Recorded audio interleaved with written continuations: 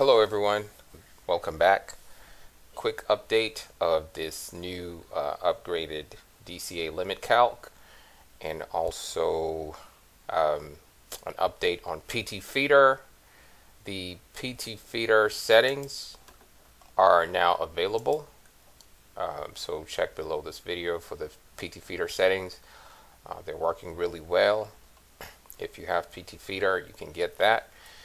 And uh, the DCA limit calculator, if you have the old one, it's on sheet 2. Just click on sheet 2 and you'll see the old one.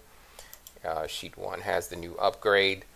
Uh, when you first open it, you'll see fill only the parts that have the uh, arrows. So total balance, you fill these parts where I have put the arrows. Do not change any of the uh, colored green or red or blue parts.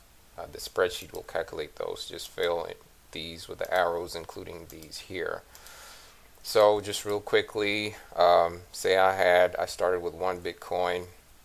Let's say I had 0.5 Bitcoins. I have my keep balance at 20%. Spreadsheet calculates the reserve, keep balance, the available balance, my default initial cost percentage is usually 2.5. You can pick your uh, own default cost. Max trading pairs, I have five.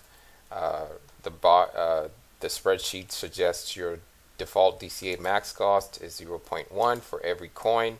So put these in your DCA file and put these keep balance, initial cost percentage, and max trading pairs. Put that in your pairs file.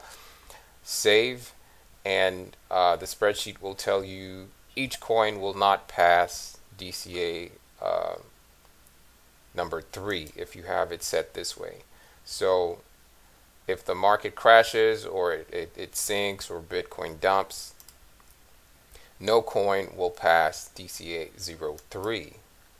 Now, how does this help? Well, for one, it makes sure you have enough uh, keep balance, but not too much but you have enough to get uh, a coin out of DCA when it's stuck in bags. Uh, number two, this method only focuses on one coin at a time. Uh, everybody I've seen, everyone I've seen, when they uh, when they have bags, they DCA everything. Well, this method only focuses on DCAing one coin at a time. And I'll go into that in a little bit more detail on the next video. Also, if you want to be able to DCA more levels, uh, there's one or two things you can do. You can change your default DCA by percentage.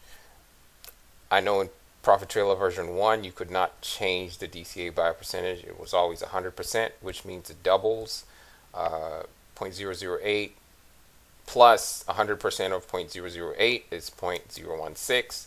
0.016 plus 100% of 0.016 is 0.032, and so forth. So in PT version 2, you can reduce this. Let's try 75. That'll give you more room to DCA because it's doing 45, 75% of 0.008 and adds it, get 0.014. 75% of 0.014, adds it to that, gets 0.025, etc. So you get more room to DCA if you reduce this number. However, if you reduce this number, uh, it may take a coin longer to go back up to the top because you're not DCAing as big.